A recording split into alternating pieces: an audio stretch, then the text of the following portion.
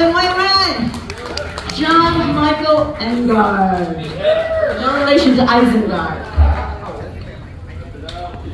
This next song is also one of mine.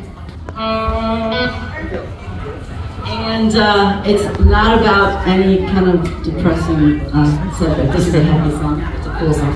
And it's called Queen Bee, and I wrote it because my name, Deborah, means Queen Bee in Hebrew, so that's the reason I wrote this next song.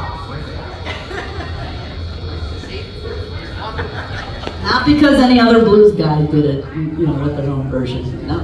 Uh, King Bee, there's a lot of King Bee songs out there. Ready, Corey?